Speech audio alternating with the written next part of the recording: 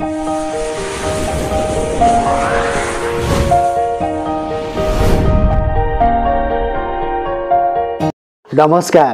क्यामेराबाट रञ्जना देवकोटाको साथमा म हुँ ज्योतिष सिंह ठाकुर देवकोटा। आदरणीय दर्शकहरू नयाँ वर्ष दुई हजार अठहत्तर साल लाग्नुभन्दा पहिले दुई हजार सतहत्तर साल चैत महिनाको एकतिस गते राति सिरान मुनि यी चिजहरू अवश्य लुकाउनुहोस्।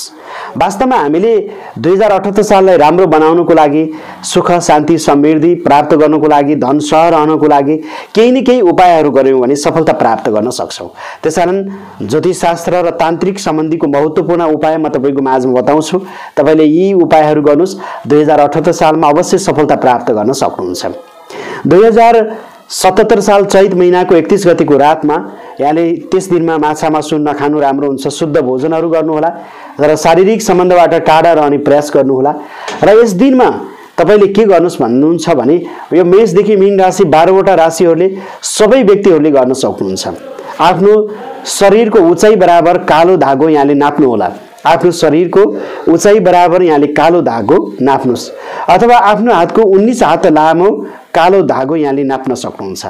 र यो कालो धागोलाई तपाईँले के गर्नुहोस् भन्नुहुन्छ भने सिरानको मुनि राख्नुहोस्।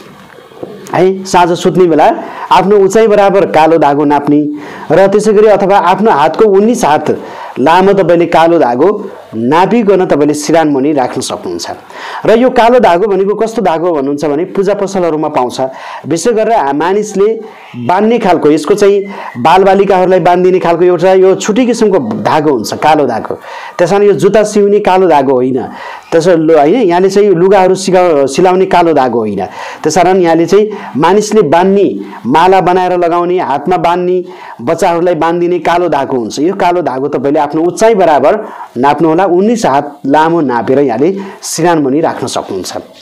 त्यसै गरी यहाँले सिरानमुनि एघारवटा गोमती चक्रहरू राख्न सक्नुहुन्छ। सिरानमुनि एघारवटा गोमती चक्र। यो गोमती चक्र पूजा पसलहरूमा पाउँछ। तपाईँले यो अरू चिजहरू पाउनु भएन भने पनि यो कालो धागोको उपाय चाहिँ अनिवार्य नै गर्नुहोस्। यो कालो धागोको उपाय चाहिँ धेरै महत्त्वपूर्ण छ र यो कालो धागो सिरानमुनि राखेर के गर्ने भन्ने कुरा तपाईँलाई म अन्त्यमा बताउँछु नहात्तिनु होला है त? त्यसै गरी गोमती चक्र एघारवटा तपाईँले राख्न सक्नुहुन्छ। र सिरानमुनि गोमती चक्र एघारवटा राख्नुहोस्। त्यसै गरी यहाँले कौडा सिरानमुनि एघारवटा राख्नुहोस्। त्यसै गरी तपाईँले एकवटा डलर पैसा सिक्का एउटा तपाईँले डलर पैसा सिक्का सिरानमुनि राख्नुहोस्। त्यसै गरी तपाईँले एउटा मयुरको पाँखहरू सिरानमुनि राख्न सक्नुहुन्छ। मयुरको पाक तपाईँले तिनवटासम्म राख्न सक्नुहुन्छ। त्यसै गरी तपाईँले एकवटा कछुवा तपाईँले सिरानमुनि राख्नुहोस्। र धनियाँका केही दानाहरू गेडा धनियाँ तपाईँले चाहिँ सिरानमुनि राख्नुहोस्। त्यसै गरी पिपलको पातमा तपाईँले शुभ र लाभ अथवा ओम लेखेर सिरानमुनि राख्नुहोस्। मैले यी बताएका मध्ये तपाईँले जे चिज पाउनुहुन्छ ती चिजहरूको गर्नुहोस् तर यो कालो धागो चाहिँ अनिवार्य गर्नुहोस्। कालो धागोको विधि चाहिँ एकदमै महत्त्वपूर्ण रहेको छ। अब तपाईँले सिरानमुनि राख्नुभयो दुई हजार सत्र साल चैतको महिना एकतिस गते राति तपाईँ राख्नुभयो। अब तपाईँ सुत्नुहुन्छ र सुतिसकेपछि दुई हजार अठहत्तर साल वैशाखको एक गतेको दिनमा तपाईँ बिहान सूर्य उदय हुनुभन्दा पहिले उठ्नुहोला। यसलाई भनिन्छ मुहुर्त। बिहानै उठ्नु राम्रो हुन्छ र बिहानै स्नान गर्नुहोस्। बिहानै स्नान गरिसकेपछि यहाँले चोखा वस्त्र धुइधाइ गरेर राखेका वस्त्रहरू अथवा नयाँ वस्त्रहरू लगाउनुहोस्। लुगाहरू लगाउनुहोस्। आफ्नो घरको नित्य पूजाहरू यहाँले चाहिँ भ्याउनुहोस्। नित्य पूजाहरू भ्याइसकेपछि तपाईँले यी सिरानमुनि राखेका चिजहरूलाई पूजा कक्षमा लगेर राख्नुहोस्। अथवा पूजा कक्ष छैन तपाईँले भने पनि यी चिजहरूलाई तपाईँले अब लिनुहोस्। सबभन्दा पहिलो कुरा कालो धागो लिनुहोस् र कालो धागो लिइसकेपछि कालो धागोलाई अब तपाईँ नजिकको खोला नदी नाला तलाउहरू छ भने नजिकको खोला नदी नाला तलाउहरूमा तपाईँले गएर सेलाइदिन सक्नुहुन्छ बगाइदिन सक्नुहुन्छ। यदि नजिकमा खोला नदी नाला तलाउहरू छैन भने तपाईँलाई कालो धागो बाँध्न मन लाग्छ भने कालो धागोको डोरी बनाएर हातमा बाँध्न सक्नुहुन्छ कम्मरमा बाँध्न सक्नुहुन्छ। तपाईँले चाहिँ हातको पाखुरामा पनि बाँध्न सक्नुहुन्छ गलामा बाँध्न सक्नुहुन्छ। यसो गर्नुभयो भने तपाईँले नवग्रहको नकारात्मक किसिमको दोषबाट बस्नुहुन्छ। दुई हजार अठहत्तर सालमा तपाईँको शरीरमा तान्त्रिक पद्धतिबाट शरीरलाई रक्षा गर्ने काम यसले गर्छ। यो महत्त्वपूर्ण कुरा हो। त्यस कारण तपाईँलाई कालो धागो बाँध्न मन लागेन भने नजिकको खोलामा सेलाइदिनु होला नयाँ वर्षकै दिन सेलाउन तपाईँले भ्याउनु भएन भने अन्य कुनै दिन भए पनि सेलाउँदा हुन्छ। अन्यथा तपाईँले कालो धागोको त्यसलाई माला बनाएर तपाईँले धारण गर्न सक्नुहुन्छ। यो विधि गर्नुभयो भने नवग्रहहरूबाट तपाईँ बस्नुहुन्छ। दुई हजार अठहत्तर सालमा सफलता प्राप्त गर्न सक्नुहुन्छ। यो महत्त्वपूर्ण कुरा हो। अब रह्यो गोमती चक्र। गोमती चक्रलाई तपाईँले आफ्नो घरको चाहिँ दराजमा राख्न सक्नुहुन्छ। जहाँ हामीले पैसा राख्ने दराजमा राख्न सक्छौँ। अथवा पूजा कक्षमा तपाईँले राख्नुभयो भने तपाईँ घरमा धनको सह रहन्छ। यो तपाईँको गोमती चक्र यसरी तपाईँले घरमा राख्न सक्नुहुन्छ। त्यसै गरी रह्यो अब तपाईँले कौडा एघारवटा राख्नुभएको छ। ती कौडालाई पनि तपाईँले चाहिँ आफ्नो घरको पैसा राख्ने दराजमा राख्न सक्नुहुन्छ बाकसमा राख्न सक्नुहुन्छ। यदि बाकस दराजहरू छैन भने यहाँले चाहिँ पूजा गर्ने ठाउँमा राख्न सक्नुहुन्छ। त्यसै गरी मयुरको प्वाङ भयो।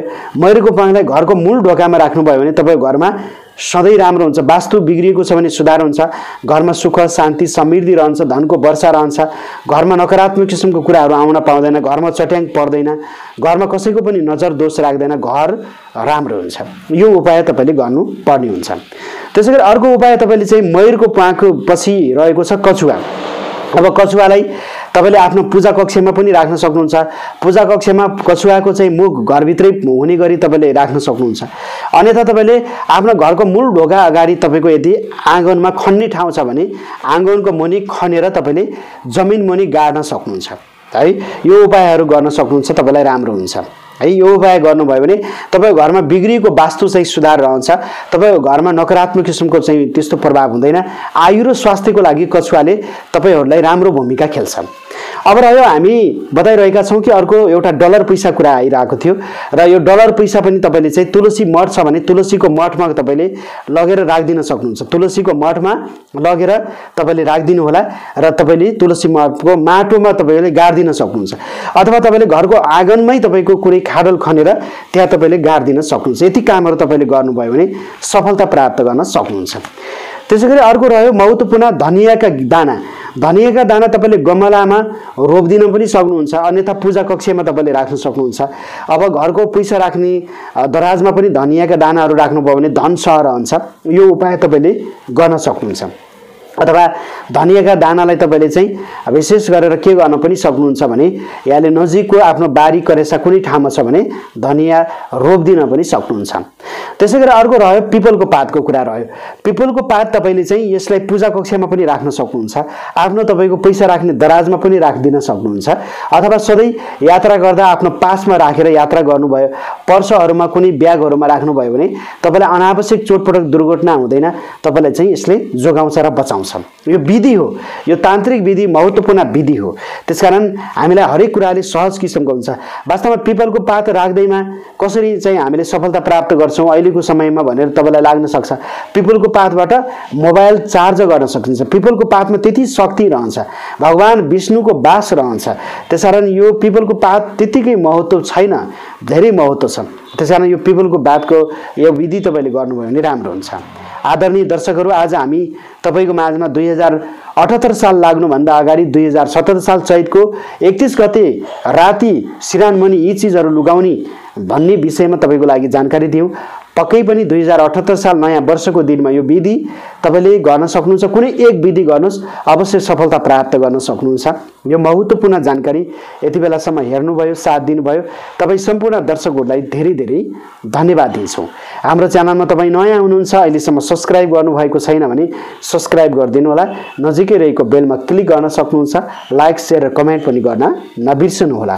ज्योतिष वास्तु धर्म र संस्कृति सम्बन्धी कुनै जिज्ञासा छ भने संसारको आफू रहेको ठाउँबाट हामीलाई फोन गर्न सक्नुहुन्छ। हाम्रो मोबाइल नम्बर रहेको छ अन्ठानब्बे चार अठहत्तर चौवालिस शून्य पन्चानब्बे। अन्ठानब्बे शून्य पन्चानब्बे साठी पाँच सय सन्ताउन्नमा फोन गर्नुहोला। आजलाई भने क्यामेराबाट रञ्जना देवकोटाको साथमा म ज्योतिषी ठाकुर देवकोटाके चाहन्छु। यहाँहरूको जीवन र जिन्दगी सुन्दर बितोस्। नमस्ते जय हवस्